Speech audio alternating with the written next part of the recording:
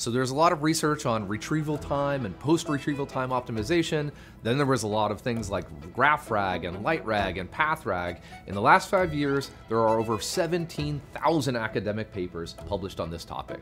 And the thing is that they all share in common is that they are directly or indirectly trying to solve an unstructured data problem. This has spurred a whole area of research called context engineering, where one writes, selects, compresses, and isolates knowledge to fill the context window with precisely the information the LLM needs. Nothing more, nothing less.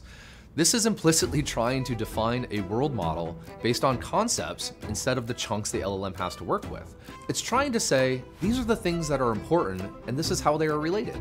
Chunks group related bits of text. Concepts are structured expressions of explicit knowledge.